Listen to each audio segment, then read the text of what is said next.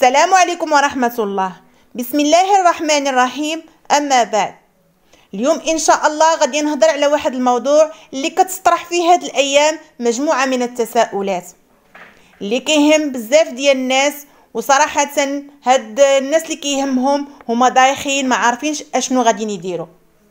الموضوع اللي غنهضر فيه هو الموضوع ديال 2000 درهم اللي غادي يستافدوا منه الأجراء.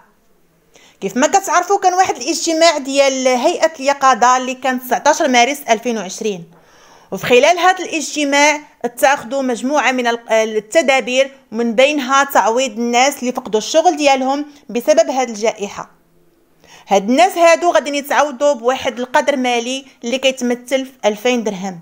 وهنا غنشير الجوج ديال الشروط باش تستافدوا من المبلغ ديال 2000 درهم.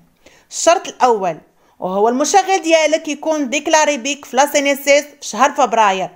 يعني أنك في شهر فبراير م déclaré بيك المشغل ديالك أنك كنتي خدام. والشرط الثاني هو أنك تكون توقفتي عن العمل بسبب هذا المشكل. يعني توقفتي خلال اتخاذ الإجراءات ديال الحماية ضد الفيروس.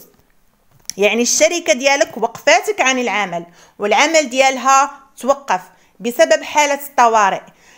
إذا الشركة كتسمى في هذه الحالة كتسمى في حالة صعوبة.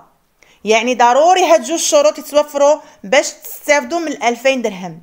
بالإضافة ل 2000 درهم غادي تستافدوا كذلك من التعويضات العائلية اللي كتمثل في فلوس دراري.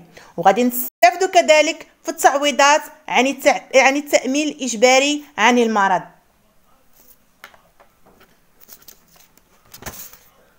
كيفاش تستافدوا من هاد التعويض ديال 2000 درهم.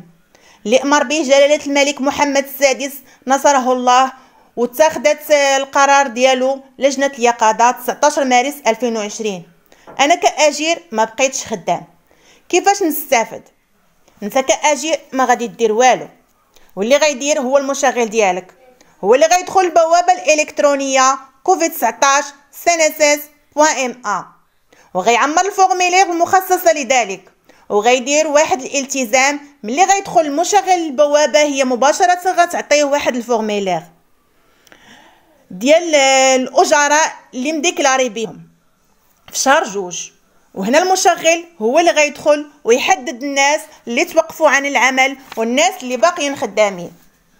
يعني انت كأجير ما عندك ما تعمر بالنسبة للناس اللي تيسحبهم غادي يعمروا ال formulaire ديال ديال فقدان الشغل ما عندها راه هاد ال formulaire هادي ما عندها حتى شي علاقة بالقرار اللي اتخذت لجنه اليقظة. راه المشغل هو اللي غيدخل للسيت ويحدد الناس اللي توقفوا عن العمل. يعني الأمور عادية جدا أو بعبارة أخرى بقى في دارك وحافظ على الحجر الصحي. وهاد التعويضات غادا تكون على الشكل التالي. في آخر مارس إن شاء الله غادي المستفيدين يتوصلوا بواحد القدر مالي اللي كيتمثل في ألف درهم. وفي آخر أبريل غادي يتوصلوا ب 2000 درهم. وفي آخر ماي غادي نتوصلوا ب 2000 درهم كذلك. وفي الاخير غنختم الموضوع ديالي بأنه واجب علينا نحافظوا على شروط السلامة اللي تتنص عليها الدولة ديالنا. وهي كالتالي نديروا اليد في اليد ونبقاو في ديورنا وما نخرجوش إلا للضرورة.